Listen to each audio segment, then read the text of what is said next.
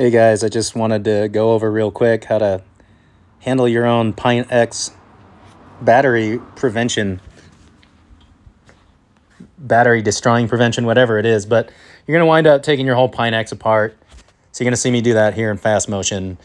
If you guys are having any trouble taking anything apart, definitely don't force it. It's not one of those things that needs to happen, and you don't want to break a bunch of stuff trying to get into the thing that's going to break. So we are going to just take the whole board apart right here. And the main reason that you're going to do all this stuff is because you don't want the battery balance leads to go bad. So that has been a problem on 100% of Pint X's, and we are going to take care of that today. So I do the removal of one whole single side of a rail uh, and then the motor out of the middle of that, just on all of the Pint models, whether it's the Pint, the Pint X, or even the GT, which is basically just a large pint. Um, I go ahead and take the, the whole single rail off because there's no room underneath in that little compartment to move that cable around very well. And if you destroy that cable or ruin any of the pins on your controller side, you are screwed. So the best thing to do is to kind of just take the tire off because then you have enough room to work. And all you've got to do is take the other rail off. So it's a lot easier, in my opinion. It's a couple extra steps, but it's a lot easier to put the cable back in at the end of it. I came up with that one in like 2020 or 2019. I can't remember when that was. You want to take a tire spoon to the rear bumper on a Pint X because sometimes they can feel like they're glued in there and you need to get underneath there to get to the uh, battery lid screws. So I'll take just a tire spoon or a screwdriver or something, wedge it in the back and just kind of work it out so that you can get that bumper out without having to fight against all the dirt and debris that gets stuck in there. Um, guys, kind of more things that I'm not a huge fan of on the Pint X, but it is what it is, and it is a fun little platform to ride on for sure. So then you're going to take out all your security bolts. Those are Torx Security 520s. So that is the 20 size bit.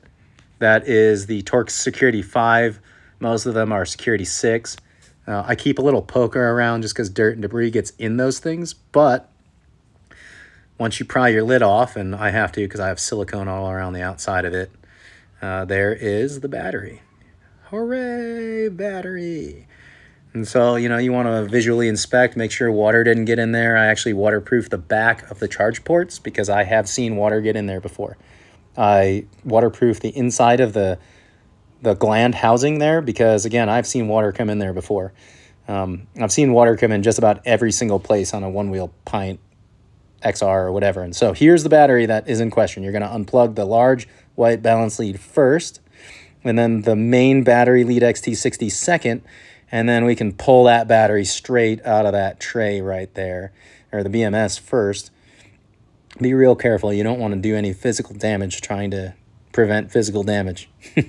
so this is the problem. Uh, is a really poorly designed battery housing. Uh, I'm not really sure why that is, that on installation of every single one, and mine's not even that bad, um, every single one, where the balance lead comes out of the battery and where it sits in the battery housing, it's almost non-preventable. It has to be completely redesigned or the housing has to be modified for it to sit in there to a point where it's not going to put so much pressure on your balance leads that it eventually frays them off. Now, if the only thing you do is ride your board you know, from your car where you got to park it at work to inside the where you work, and that's as far as it goes, then maybe you don't experience this. But if you're trying to do drops, do tricks, or do anything else like this, I bet you that your board wore down faster than it needed to. And so you can kind of see here when I look at the old pint tray, how they basically just took the same design and they made it deeper. So, you know, there might be a case for them to say they didn't understand, but why did they move that balance lead then from that pint? You can see on top to the bottom of the Pint X, right? So we took the balance lead from the side there to the bottom of the new battery, and then we expected that to go around the corner of that deeper dish better. Like it doesn't make any sense to me. So I just assume Future Motion did this on purpose uh, because it's a pretty easy way for them to have the board malfunction and have to go back to them, especially because the Pint X we weren't allowed to get into very much. So when you try to put a pint battery in a Pint X box, you can see like um, there had to be some reworking done at the factory. So we know that there was a little bit, at least, of forethought into how this was going to all work out. So what we got to do is we got to just remove all that material out of there. So we're going to move all of the balance leads out of the way and we're going to expose that corner.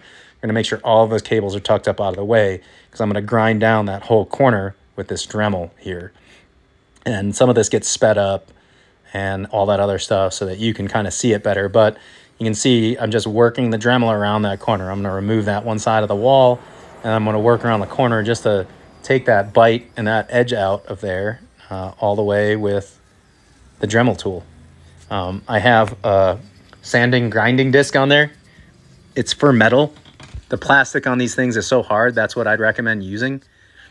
Well, that way you're not worried about the the bit breaking off and hitting you in the face or something. I should be wearing safety glasses. I do know.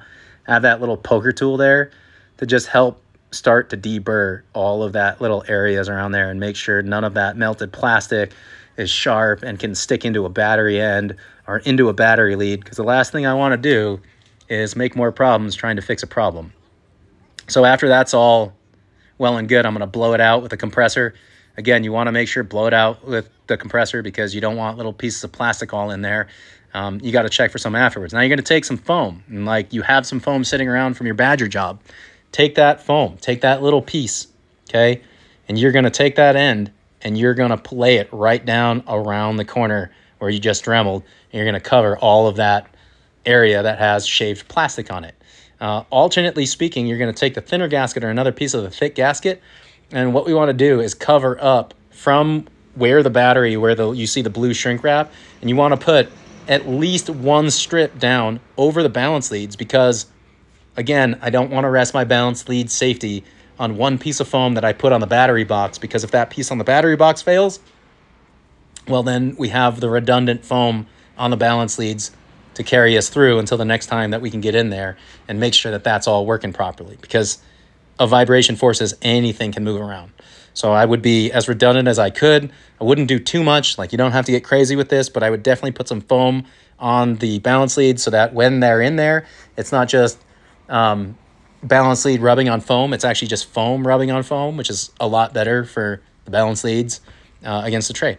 So then you go ahead, put it all back in there. Uh, we're going to put the BMS back in there. I put all the balance, I put all the leads in from the board first. That way, all I have to remember is put the yellow in first, put the white in last. And after I've done that, I'm pretty much good to go. The you are going to close that all back up, put all the screws back in where they're supposed to go, and you are now much better protected than you used to be in your Pint X. And that's pretty much it. I hope that everybody got a little bit out of this. And good luck in fixing your Pint X. If you don't think you can do it yourself, bring it to me.